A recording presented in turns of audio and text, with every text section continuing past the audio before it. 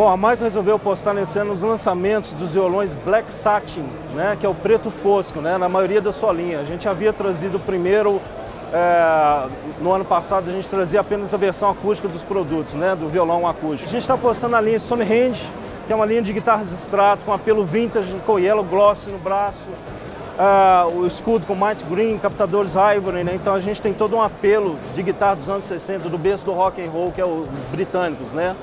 Então Stonehenge vem figurar essa linha de instrumentos. Contrabaixo cinco cordas, também é uma das grandes apostas da empresa.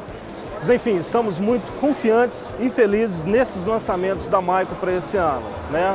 São guitarras muito assertivas para cada tipo de público que a gente busca como alvo. Né? O músico iniciante, o músico profissional e o semi-profissional também.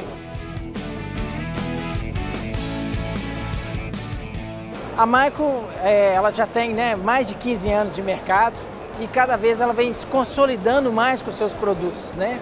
Isso que nós estamos vendo aqui hoje é resultado desse trabalho de evolução da, da marca, crescimento da marca, desenvolvimento da marca.